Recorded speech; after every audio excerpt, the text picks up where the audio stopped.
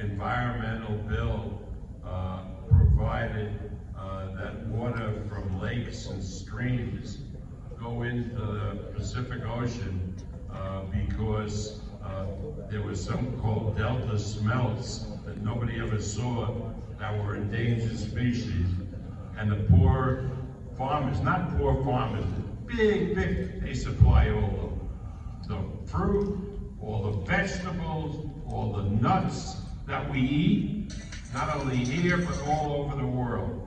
And Jose Ramirez was in the forefront with the fight for water so that these farms and the community and these workers who worked in the fields uh, could be productive. And it was a tough, tough fight, and it not only uh, ended well when the drought was over, but it carried over to a uh, policy where a big dam was built in the area so that the water could accumulate during times of drought.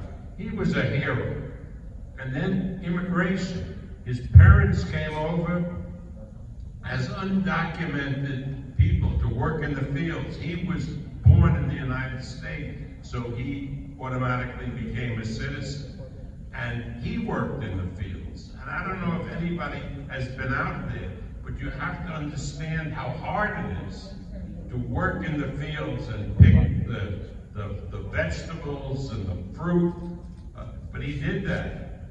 And he was able, through boxing, through support of people in that area, uh, to become a member of the U.S. Olympic team, uh, and then go on with this career and to be a world champion. So if people say to me, are you proud of Jose Ramirez? I will say, damn proud, because what he's accomplished has been absolutely tremendous, and it's a great American story.